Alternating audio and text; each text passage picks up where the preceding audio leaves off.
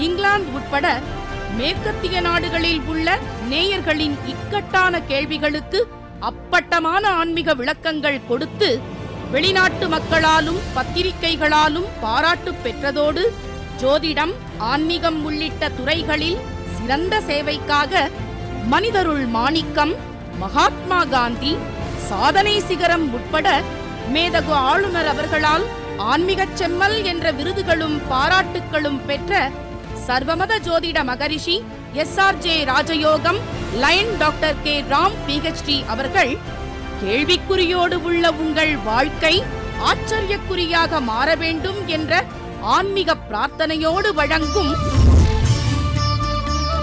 ராஜயோகம். நேயர்களுக்கு வணக்கம்.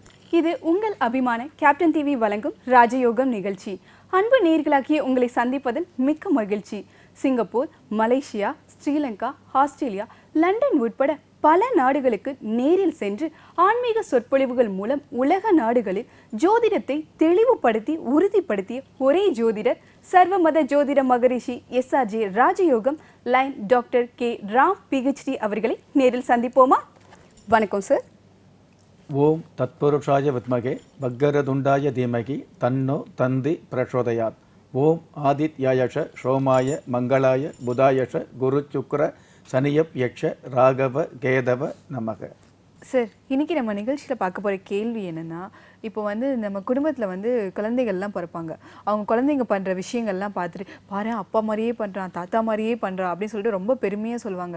இது வந்து உண்மை தானே சார் நம்மளோட இறந்து போன முன்னோர்கள் அதாவது பித்ருக்கள் அவங்களோட உடல் பாவனைகள் மாதிரியே தான் குழந்தைகள் செய்கிறாங்க ஏன்னா வந்து அவங்களோட இல்லை அவங்களோட அந்த பழக்க வழக்கங்கள் வரனால அவங்க தான் அடுத்த ஜென்மம் எடுத்து வந்திருக்காங்களா? இல்லை அந்த மாதிரி ஜென்மம் எடுக்கிறது இருக்கா? இல்லை இல்லையா? இல்லை அவங்க பண்ண பாவங்களுக்கு ஏற்ற மாதிரி அவங்களோட பிறவிகள் வந்து பிரிஞ்சுக்கிட்டே போகுதா சார் ஒருவருடைய ஜாதகத்தில் வந்து அயன ஜயன போக பாக்கியஸ்தானம் என்று சொல்லக்கூடிய விரயஸ்தானம் என்று வர்ணிக்கப்படுகிற பன்னிரெண்டாம் இடத்துல வந்து கேது பகவான் இருந்தார்னா ஞான காரகன் என்று சொல்லக்கூடிய கேது பகவான் இருந்தார் அப்படின்னா அந்த ஜாதகருக்கு அடுத்த பிறவி இல்லை அப்படிங்கிற விஷயத்தை சாஸ்திரம் சொல்லி வச்சிருக்கு. இன்னும் ஒரு சில பேர் நம்ம என்ன நினைக்கிறோம் அப்படின்னா முன் ஜென்மத்தில் செஞ்ச பாவம் இப்போ பாதிக்குது. அல்லது முன் ஜென்மத்தில் வந்து தாத்தா இருந்த நிலைமை அல்லது தாத்தாவுடைய தாத்தா இருக்கக்கூடிய அளவுக்கு அந்த தாத்தாவே இப்போ பேரனுடைய பேரனுடைய வடிவில் பிறந்திருக்கார் அப்படிங்கிற அளவுக்கு ஒரு சில குடும்பங்களை நினச்சிக்கிட்டு இருக்கிறோம். நம்ம நல்லா தெரிஞ்சுக்கணுங்க.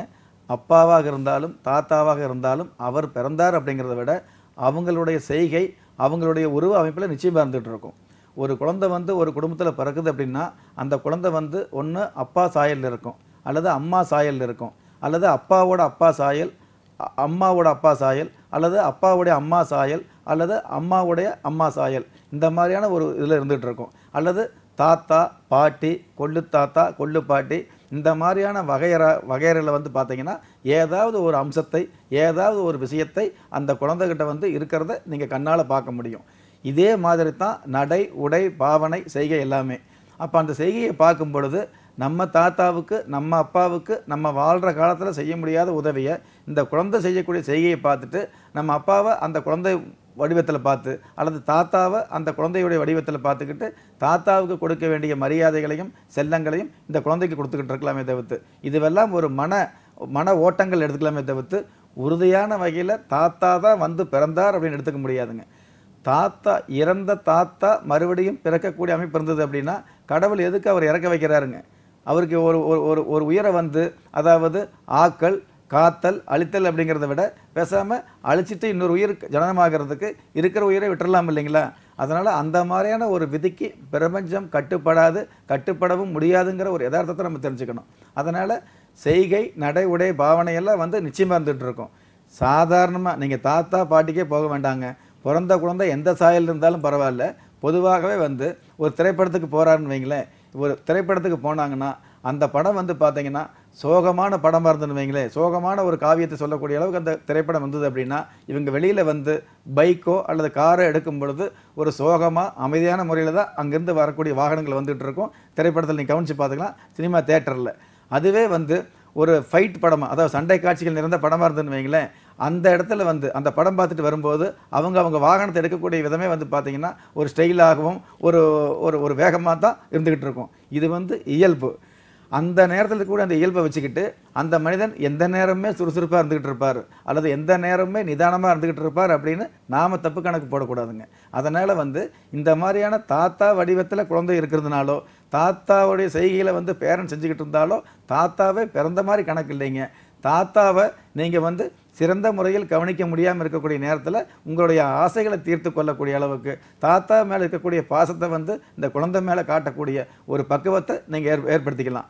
பொதுவாகவே முன் ஜென்மத்தில் செஞ்ச பாவம் இந்த ஜென்மத்தில் பாதிக்குது அப்படிங்கிற ஒரு விஷயத்தை வந்து சாஸ்திரம் தெரிஞ்ச நிறைய பேர் சொல்லிகிட்டு இருக்கிறோம். ஆனால் நம்ம நல்லா தெரிஞ்சுக்கணுங்க. முன் ஜென்மத்தில் செஞ்ச பாவம் இந்த ஜென்மத்தில் பாதிக்குது அப்படிங்கிறத கூட ஓரளவு ஏற்றுக்கலாம் இன்னும் சில பேர் ஒருபடி மேலே போய் போன ஜென்மத்தில் அதாவது பூர்வ புண்ணியத்தில் தாத்தா பாட்டி பண்ணின தப்பு உங்களை பாதிக்குது அப்படின்னா அப்போ யாரோ ஒருவர் செய்த தப்பு இவரை பாதிக்கிற மாதிரி இருந்ததுன்னா இவர் எதுக்கு ஒழுக்கமாக இருந்துக்கிட்டு இருக்கணும்? இவரும் தவறு பண்ணிட்டு போயிடுவார் இல்லைங்களா?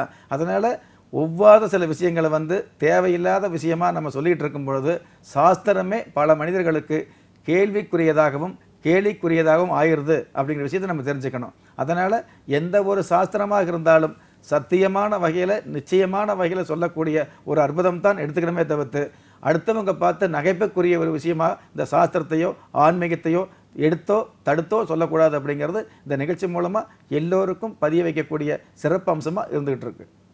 ரொம்ப அழகா ஒரு தெளிவா அது உறுதியா பத கரெக்டான பதிலா சொன்னீங்க சார். ரொம்ப நன்றி. குலதெய்வ ஆசையும் நவகிரக அனுகிரகமும் பஞ்சபூத பாக்கியமும் அனைவருக்கும் கிடைக்க வேண்டிய பிரார்த்தனையோடும் வாழ்த்துக்கள். ராம் பிஹெச்டி அவர்கள். ராஜயோகம்.